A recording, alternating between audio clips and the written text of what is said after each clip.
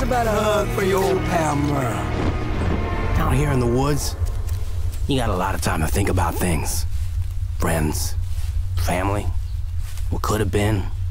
Makes you wonder where we'd be if things played out differently. Come back! Uh, you can't just leave me here. Even for a zombie apocalypse, Uh, mm, come on! Merle Dixon was having a bad day. Huh? What? Uh, who's there? Anyone there?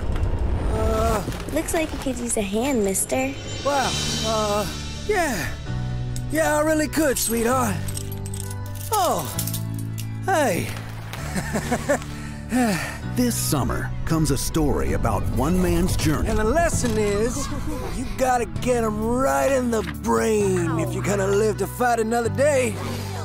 From outcast It's you, Mr. Dixon. to educator. These here popsicles is ice cold, kiddos. Heat up. Because the only thing scarier than the undead You're the best, Mr. Dixon. is keeping six year olds occupied.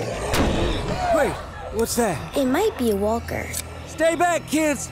It's time for Mr. Dixon to teach a lesson. Is he okay? Thanks for saving us, Mr. Dixon. No, thanks for saving me.